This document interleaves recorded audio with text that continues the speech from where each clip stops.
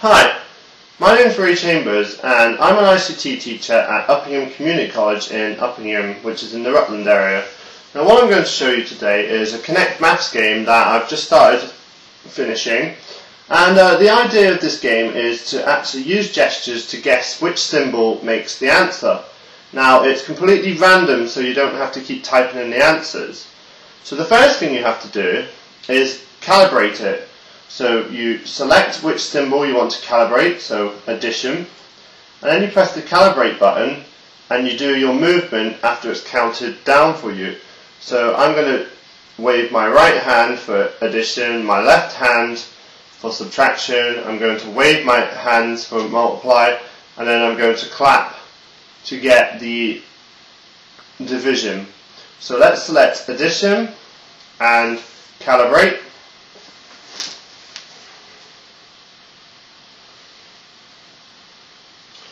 Okay, uh, let's select subtraction and calibrate.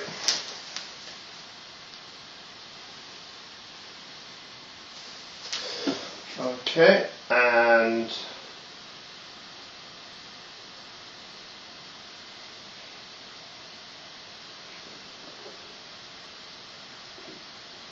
multiply.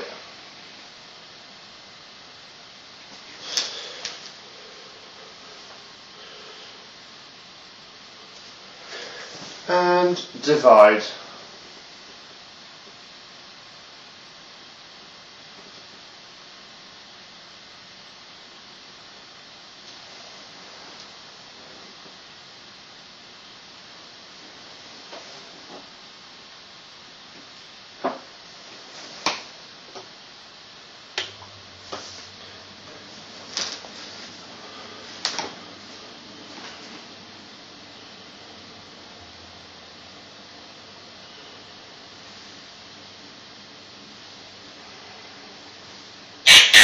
It's divide,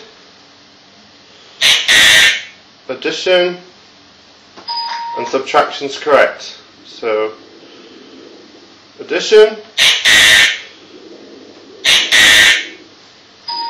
let's divide, divide again.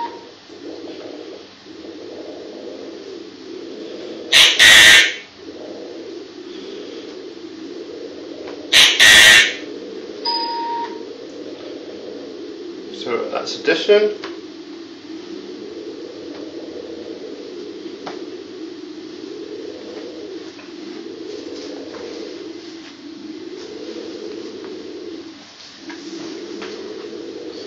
So the idea of the game is to stand in front of it and make the movement and see how you can program it to put in the answers.